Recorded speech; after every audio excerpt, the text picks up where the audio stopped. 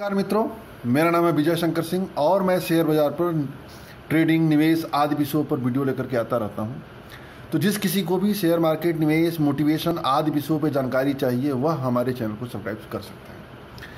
तो आज मित्रों, आज बुधवार है 27 मई है तो 26 मई को जिन शेयरों में मजबूती बनी थी और आगे चल करके मजबूती और रह सकती है आज उसी शेयरों के बारे में हम चर्चा कर तो कैंडल स्टिक में एक महत्वपूर्ण पैटर्न होता है मित्रों, मुराबजू। मुराबजू पैटर्न उसको कहते हैं, जो शेयर जहाँ से खुलता है, मार्केट बंद होते होते सबसे उच्चतम स्तर पर बंद होता है। तो यह बहुत ही मजबूती का परिचायक माना जाता है मित्रों। और ये माना जाता है कि मुराबजू वाला जो शेयर होता है ट्रेडिंग पॉइंट ऑफ़ व्यू से आकर्षक होता है। तो कल जो मार्केट में बना मित्रों एनएससी पर, कुल नौ स्टॉक्स में मुरावजू बना है। Birla corporation, Bayer corporation, Adani power Adani power के बाद Eicher motor, Eicher MCX JSW steel Jubilant food Titan और पीआई इंडस्ट्री तो इन शेयरों में कौन ऐसे शेयर हैं जिसको हम ट्रेडिंग के पॉइंट ऑफ़ व्यू से खेले, दाव लगाए। तो मेरा जो अपना मानक है स्टैंडर्ड है ट्रेडिंग का, कि उसमें यह है कि वो शेयर पहले तो एन एस e का होना चाहिए, सभी मूविंग एवरेज के ऊपर होना चाहिए फंडामेंटली स्ट्रांग होना चाहिए, और पोटेंशियल वाला शेयर होना चाहिए। तो इन शेयरों में जो मैंने शेयर चिन्हित किए, उसमें Jubilant food Titan PI industry इन तीन शेयरों को मैंने चिन्हित किया। इनमें से टाइटन जो है मूविंग एवरेज के नीचे ट्रेड कर रहा है। 200 दिन के 100 दिन की मूविंग एवरेज से। लेकिन जुबिलेंट फोर्ट और पीआई इंडस्ट्री 200 दिन के मूविंग एवरेज के ऊपर ट्रेड कर रहे हैं। इस प्रकार मेरा अपना मानना है मित्रों कि ट्रेडिंग के पॉइंट ऑफ़ व्यू से इन दोनों शेयरों पर दाव खेला जा सकता है। जैसे जुबिलेंट फ़ूड की बात करें मित्रों कि कल जो है ये 1622 पे ओपन हुआ था और 1704 पे जाकर के क्लोज दिया था, जो कि अपना उच्चतम स्तर है। कुल मिलाकर के पाँच दशमलव एक सात परसेंट बढ़ा था मित्रों। वॉल्यूम भी देखें तो वॉल्यूम भी बहुत अच्छा खासा रहा है। मार्केट कैपिटल इसका बाईस हज़ार चार सौ अट्ठासी करोड़ है, यानी लार्ज कैप के सेगमेंट की कंपनी देखा जाए तो। और वन वीक में देखा जाए तो तेरह दशमलव नौ परसेंट बढ़ा है। एक महीने में पंद्रह दशमलव दो चार परसेंट बढ़ा है। 52 एक हाई लो देखा जाए मित्रों तो उन्नीस सौ तिहत्तर है। और 52 एक लो देखा जाए तो एक हज़ार एक हज़ार सतहत्तर है। यानी 52 एक लो से देखा जाए तो लगभग सिक्सटी टू सेवेंटी परसेंट ऊपर बढ़ चुका है। और 52 एक हाई से देखा जाए तो मतलब लगभग ट्वेंटी परसेंट नहीं नहीं सॉरी लगभग टेन परसेंट नीचे ट्रेड कर रहा है। टेन टू फिफ्टीन परसेंट के आसपास। तो ये अपने 52 एक जोन में है मित्रों तो ये उम्मीद है कि यदि इसको शेयर को खरीदा जाता है तो यह शेयर आने वाले समयों में ट्रेडिंग से हमको कुछ ना कुछ पैसा बना करके देगा। आप यदि बात करें जिसका मूविंग एवरेज, बुलिश है। टेक्निकल इंडिकेटर्स, बुलिश है। मूविंग एवरेज क्रॉस ओवर वो भी बुलिश है। और मूविंग एवरेज, जो औसत मूविंग एवरेज आप देखेंगे तो 200 दिन का 1520 है, इसके ऊपर है। 100 दिन का 1635 है। 50 दिन का 1488 है। 20 दिन का पंद्रह है। 10 दिन का 1612 है। तो सभी मूविंग एवरेज से मित्रों ये ऊपर ट्रेड कर रहा है।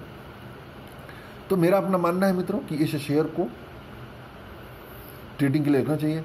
और टेक्निकल जो इंडिकेटर्स होते हैं आर एस आई बुलिश है M S C D bullish है आर ओ सी बुलिश है सी सी आई बुलिश है ओवरऑल जो है मित्रों, यह शेयर बुलिश है।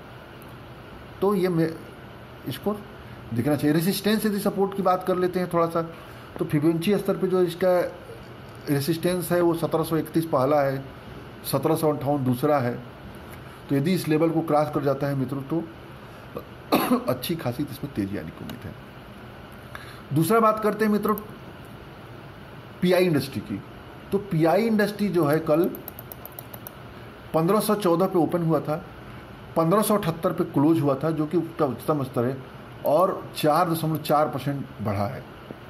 और यदि आप इसका देखें मित्रों पीआई इंडस्ट्री के बारे में, इसका मूवी एवरेज देखिए तो 200 दिन का तेरह सौ इक्यासी है, इसके ऊपर है। 100 दिन का चौदह सौ सैंतालीस है, इसके भी ऊपर है। 50 दिन का तेरह सौ छियासी है 20 दिन का 1515 है 10 दिन का 1504 है। यानी सभी मूविंग एवरेज से ऊपर चल रहा है। और इसका टेक्निकल इंडिकेटर्स देखेंगे तो टेक्निकल इंडिकेटर्स में सब बुलिश है, केवल एक दिखा रहा है कि वो है आर एस आई बुलिश है M S C D bullish है आर ओ सी बुलिश है सी सी आई बुलिश है। और इसका सपोर्ट रेजिस्टेंस देखेंगे तो फिबोंची का जो रेस्टोरेंट सॉरी रेसिस्टेंस है पहला, वो पंद्रह सौ पंचानवे है, दूसरा जो है सोलह सौ पंद्रह है। तो इन दोनों लेवल को क्रॉस कर जाएगा मित्रों तो यह भी शेयर जो है एक नई मजबूती में पहुँच सकता है। पीआई इंडस्ट्री जैसा कि हम जानते हैं मित्रों केमिकल सेक्टर का एक दिग्गज कंपनी है, बहुत ही बेहतरीन कंपनी है। और इसका मार्केट कैपिटल इक्कीस हज़ार आठ सौ छिहत्तर करोड़ है। देखा जाए तो लार्ज कैप होने के बिल्कुल करीब है। Large cap mid cap segment की कंपनी हो चुकी है। पी इसका छियालीस दशमलव पाँच पाँच है। बुक वैल्यू एक सौ चौंसठ है। डिविडेंड बहुत शानदार देती है मित्रों। इंडस्ट्री पी चौंतीस चौंतीस दशमलव छः दो है। ई पी एस इसका तैंतीस दशमलव नौ दो है। प्राइस टू बुक वैल्यू नौ दशमलव छः पाँच है। तो पीआई इंडस्ट्री को मैं अपने वीडियो में कई बार चर्चा कर चुका हूँ मित्रों कि पोर्टफोलियो स्टॉक है केमिकल सेक्टर वैसे भी बहुत स्ट्रांग है। उसी तरह से जुबिलेंट फ़ूड भी यदि आप उसका देखेंगे डिटेल मार्केट कैपिटल बाईस हज़ार चार सौ छियासी करोड़ है। लार्ज कैप की कंपनी है पी इक्यासी है। और जुबिलेंट फ़ूड सबसे बड़ी चीज़ है मित्र, इसके बारे में जानने की ज़रूरत है कि जुबिलेंट फ़ूड जो है डोमिनो का जो पिज़्ज़ा होता है, उसको बिलोंग करती है, उसकी ओनर है। भारत सहित कई देशों में यह कंपनी मास्टर फ्रेंचाइजी रखी हुई है डोमिनो के पिज़्ज़ा की। और जैसे जैसे लोगों की इनकम बढ़ती जा रही है जैसे जैसे लोगों की लाइफ स्टाइल बदलता जा रहा है, लोग पिज़्ज़ा ज़्यादा खाना पसंद करते हैं। तो उस हिसाब से भी ये कंपनी अच्छी है। हालाँकि कोरोना काल के कारण जो संकट अन्य कंपनियों पर दिखा था, इस कंपनी में भी संकट दिख रहा है। लेकिन उम्मीद है मित्रों कि यह कंपनी इस संकट काल से भी निकल जाएगी।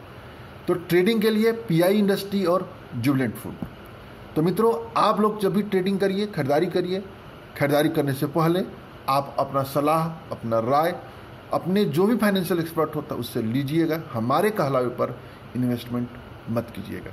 यह मेरी राय है। ज़रूरी नहीं कि सबके लिए सही हो। जय हिंद, जय भारत।